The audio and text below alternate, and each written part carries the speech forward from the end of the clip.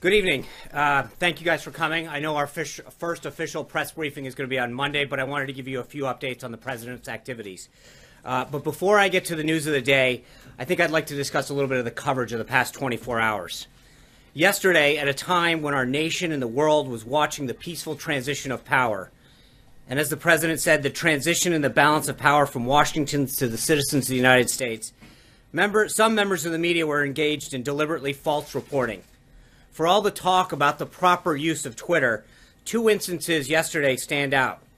One was a particularly egregious example in which a reporter falsely tweeted out that the bust of Martin Luther King Jr. had been removed from the Oval Office.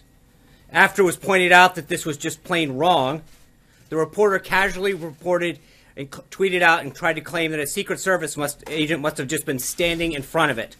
This was irresponsible and reckless.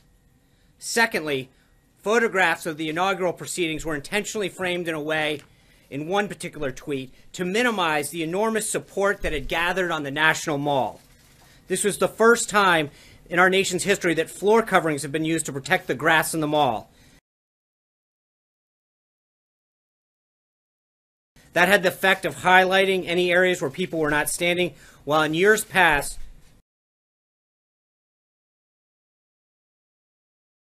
the grass eliminated this visual. This was also the first time that fencing and magnetometers went as far back on the wall, preventing hundreds of thousands of people from uh, being able to access the mall as quickly as they had in inaugurations past. Inaccurate numbers involving crowd size were also tweeted. No one had numbers because the National Park Service, which controls the National Mall, does not put any out. By the way, this applies to any attempts to try to count the number of protesters today in the same fashion. We do know a few things, so let's go through the facts. We know that from the platform where the president was sworn in to 4th Street holds about 250,000 people. From 4th Street to the media tent is about another 220,000.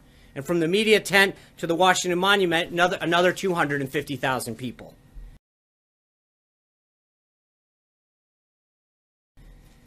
All of this space was full when the president took the oath of office. We know that 420,000 people used the DC Metro public transit yesterday, which actually compares to 317,000 that used it for President Obama's last inaugural. This was the largest audience to ever witness an inauguration, period, both in person and around the globe. Even the New York Times printed a, photo- a photograph showing the, that a, a misrepresentation of the crowd in the original tweet in their paper, which showed the full extent of the support, depth, and crowd and intensity that existed.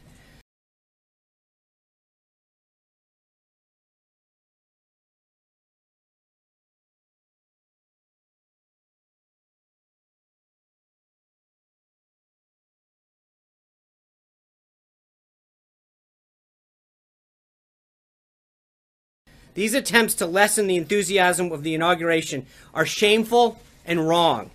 The president was also at the Central, as you know, the president was at the Central Intelligence Agency today and greeted by a raucous overflow crowd of some 400 plus CIA employees. There were over a thousand requests to attend, prompting the president to note that he'll have to come back to greet the rest. The employees were ecstatic that he's the new commander in chief, and he delivered them a powerful and important message. He told them he has their back, and they were grateful for that. They gave him a five minute standing ovation at the end in a display of their patriotism and their enthusiasm for his presidency. I'd also note that it's a shame that the CIA didn't have a CIA director to be with him today when he visited because the Democrats have chosen, Senate Democrats are stalling the nomination of Mike Pompeo and playing politics with national security.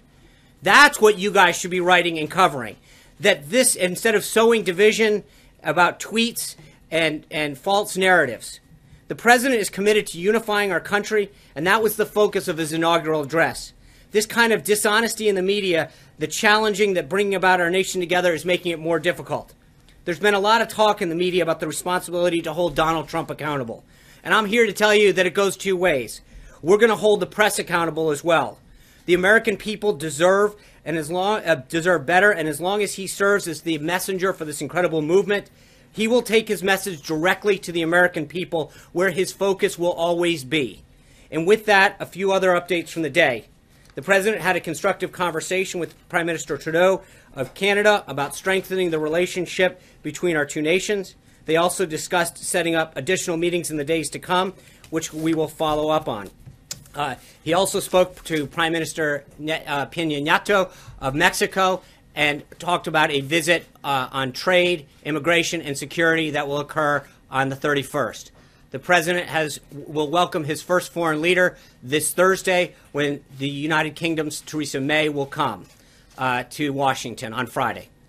On uh, tomorrow, the president will oversee his assistants to the president being sworn in. He will then, uh, the staff will then have an ethics briefing and be uh, a briefing on the proper use and handling of classified information. Um, further updates uh, as far as what he will do. Oh, and then in the evening, he will have a reception for law enforcement and first responders that helped uh, support the inauguration. Thank you guys for being here tonight. I will see you on Monday. Sean, Women's March. The can't say no one bigger has than the numbers Trump's and then inaugural? say it was the largest audience ever.